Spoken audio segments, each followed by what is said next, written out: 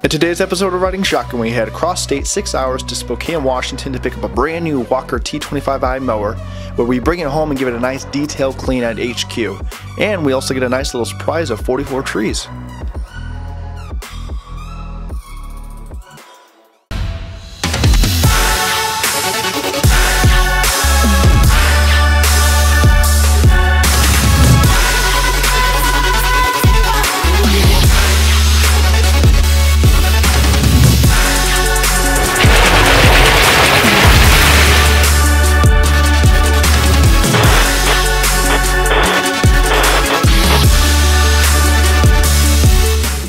How's it going guys? Welcome to Ambro's Landscaping YouTube channel. Let me guys, let me give you guys a rundown of what's going on today. So this weekend, tomorrow, I'm heading off to Spokane, which is about six hours away from me, to go pick up another Walker T25i uh, mower, and I'm really excited to do that.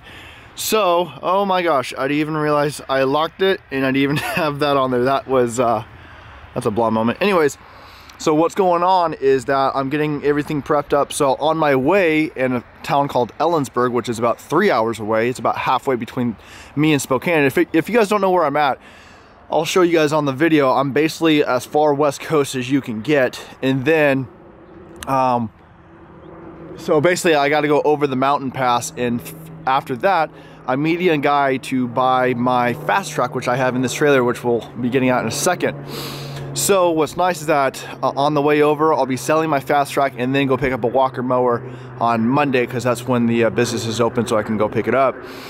Um, I actually just sold my two Exmark 30 inch mowers uh, uh, two days ago.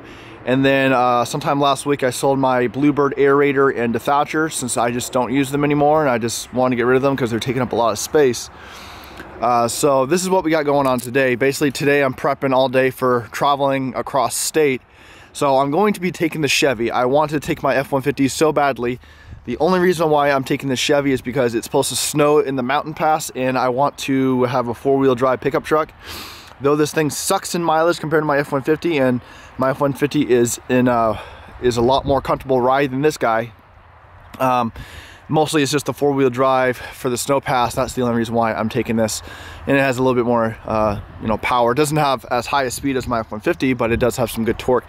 So today uh, I'm changing the oil. All the shocks front and back I need to replace because I think they're pretty worn out because when I hit a bump it just there's no spring at all. It's pretty stiff. So basically I'm prepping the truck today. So what I got going on right now is I got to take the FasTrak, which I have in my big trailer. I got to pull out both mowers and place it in my small enclosed trailer and then take out all the stuff in there and put it in here since I don't need it. So the best trailer for this trip is the enclosed. Uh, that way we can lock everything up. That way everything's out of the weather. And like I said, I really want to badly take my F-150. Uh, but the only thing is the snow pass. Though it's supposed to rain, it's supposed to be, the roads aren't supposed to be too icy or too snowy. It's always better to be safe. So I will be spending a little bit more gas to go across state, but at least I'll have a bigger truck and uh, a little bit more confidence when driving through those mountain passes. So um, we're gonna go ahead and get started and transfer everything out of here and put it in here and then bring the FasTrak over here. So let's get going on that.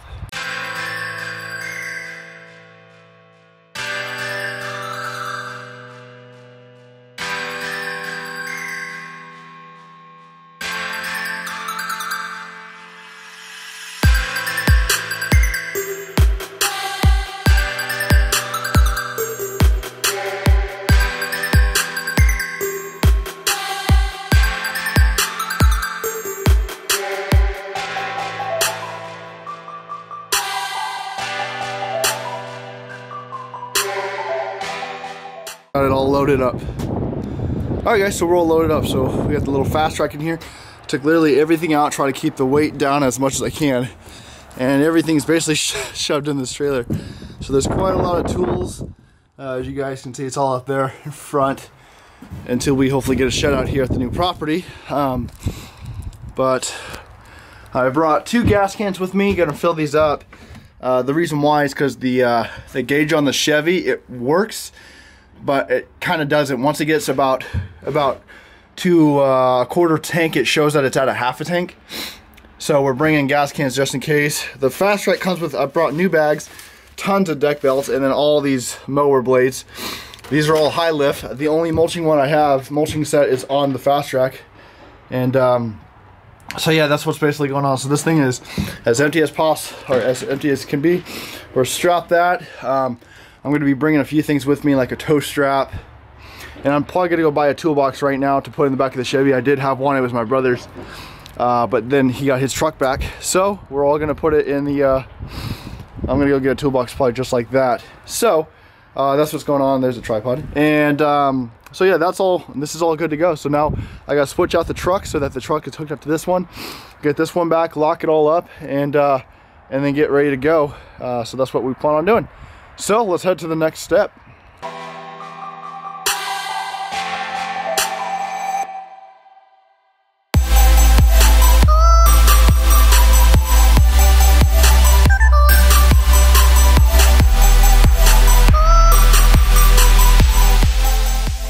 All right guys, so we went ahead and fast forward quite a few days, so we're back in Sequim. Uh, just got done going cross country, got back last night about 11 o'clock at night. The pass was pretty bad. I have a little bit of footage when I was driving through. The footage that I got is not the worst, uh, just because I needed both hands on the wheel at the time. Luckily the truck did handle pretty well through the pass, but since I didn't have brakes on my enclosed trailer, uh, I had to go extremely slow because of how much weight pushing up against the truck and it was basically solid ice on the roads. So I had to take it pretty slow. So I'll show you guys the mower in a second, uh, but what we're gonna go do first, we're gonna drop the trailer. I have to head back to my property because before I left, one of my tires on the dump trailer is flat. So we're gonna go get that fixed. So we're gonna drop this and then we're gonna head off to the property, get that fixed, the dump trailer, and then we'll head back and then I'll show you guys the mower because we got to get it all cleaned up and ready for this year so let's go and do that all right guys so here we are so this is the uh, sad looking tire I'm not sure what, how much of this I showed in our last video um, but this is what we got to deal with so this was running completely fine the other day so I got to figure out what's going on with this guy um, I don't know if it was just too much weight from all that gravel especially when we were lifting it up it was putting a ton of weight on this but I don't believe it should have not sure if I mentioned this in our last video. I did get all these for free. I won't say where, but I did get them all for free. So I'm really excited about that. So some of these I'm gonna be using in some of our installs and the rest I'm gonna try to get sell them. Um, just cause I don't wanna have to, you know, it takes a lot of time, uh, or it takes up a lot of space and I don't really have too much space. And it's another thing I have to worry about. So anyways, let's go ahead and get that tire pumped up.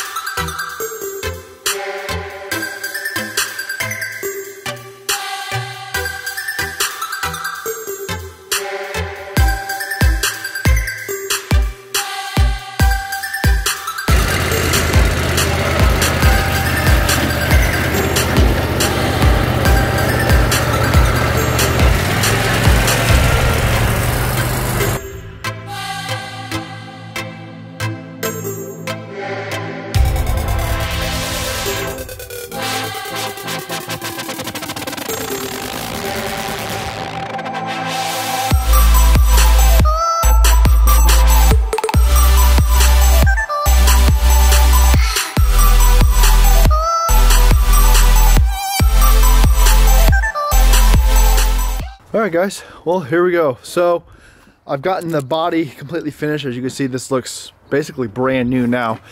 Did take a lot of scrubbing. Um, it's going basically just as fast as when I did my other one. So if you want to really watch me wash this thing, you guys can watch the other video. Uh, let me show you underneath. Um, it seems like since I cleaned this engine up a little bit and um, and had it running for a little bit. It's a little bit, it's running a little smoother now. So the only thing I haven't gotten to is this underbody side, which I'll probably get to tomorrow because I still have the deck to do and then this underside too. But the most important, I wanted to get around the engine bay, um, get that all cleaned up. That way, uh, you know, the engine's not overheating with uh, any caked on dirt or anything like that. But like I said, it sure is running a lot smoother now. And there's a couple detailed spots like underneath the seat and everything like that that I need to get to. But the catcher, I always like cleaning that because, uh, man, what a difference. That sure makes it look brand new. Uh, underneath or the inside, I just basically pressure wash it. I'll probably scrub this later. It's not that important to me. This is going to get way dirtier than anything else. So there's no point of uh, completely detailing that. So that's that's the body. And then the mower I have even, I just started pressure washing it. So uh, this just needs to be scrubbed a little bit. Uh, this won't, eh, it'll take a little bit because to get into all the little grooves and stuff, especially on the front. So I just want to make sure that's all good to go. So anyways, that's basically it. So this is the newest addition to the Ambro family. So I'm really happy. So basically, uh, our next video, be sure to watch out for that. It's probably going to be our 2017 trailer setup. We do one every single year. We've done it since we first started, so we've done it 2014, 15, and 16. So of course, we're going to be doing another 2017. Uh, it's just a thing I like to do. And now that I have everything I wanted, I have the I, I, didn't want to do the video until I got all the tools that I plan on buying, which was another Walker mower and then the dump trailer. And then we kind of, and then, then the other truck. I wasn't planning on getting another truck this soon, but that was a pretty good deal. So, and then uh, I had to get that, I think I talked about this, I had to get it fixed over at Les Schwab in Spokane. And what they did was they replaced the ball bearings, or uh, the ball joints. Uh, let's see, what else did they do? I think they fixed some of the uh, tie rods and stuff like that, uh, the alignment. So it still floats. I'm gonna have to get that checked out. Um, but at least it runs a little bit smoother now. So it's a good running truck.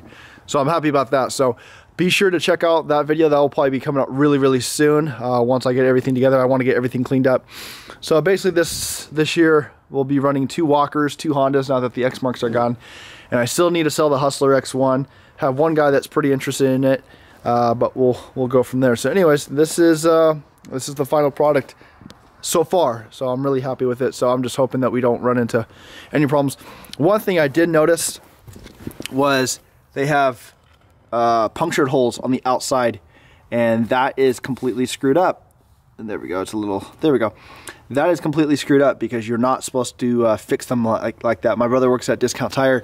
Basically, the, uh, the, from right here to right here, this is the zone that you can fix. If it's anywhere on the sidewell or the side walls, you can't fix that. I'm pretty sure. Uh, it might be different from mower tires, but I don't know if they did that or they got someone else to do it. But it makes me wonder how the heck did they put two holes uh, into the sidewall. So anyways, other than that, um, it looks, now that it's cleaned, it looks like a really good machine. You know, it's based, it's a 2015, so it can't be that old. So let's just hope that the uh, main components are, uh, the most important things are good to go. Anyways, all right guys, thanks so much for watching. Be, uh, be sure to tune in and uh, watch out for the new 2017 trailer setup or uh, our completely you know, all of our trailer and truck setups coming soon. So thanks so much for watching. We'll see you guys next time on Ambro's Landscaping. Alright guys, so while I have these two together, um, here are the two mowers. The two, both of them, both 2015 T25Is. So this was my dream setup, was to get these two mowers, get rid of the Hustlers. I still have the X1, but I do have possibly someone interested in that. So um, I'm really happy to have these. I'm really, I wanted to so badly start out the year with two walkers. So I'm happy uh, with the weather the way it is, it's been it keeps getting postponed because we keep getting more snow and cold weather. So the grass isn't growing. Uh, it's slowly starting to grow, just not as much as it was last last year. We were probably already on our second mowings.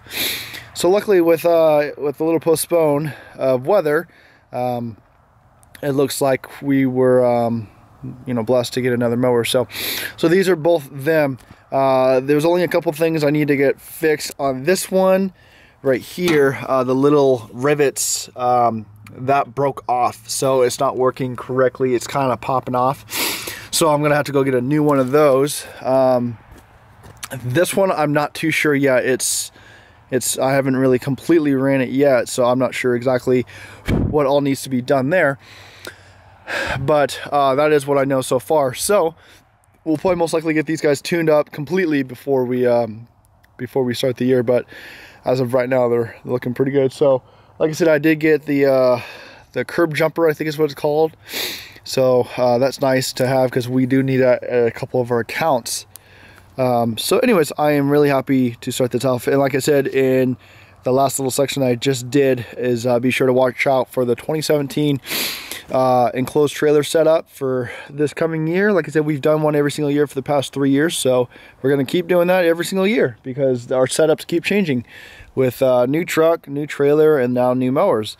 And who knows what uh, next year will bring. And then, of course, we have the diesel and the small enclosed trailer. Further ado, we'll see you guys next time on Ambro's Landscaping.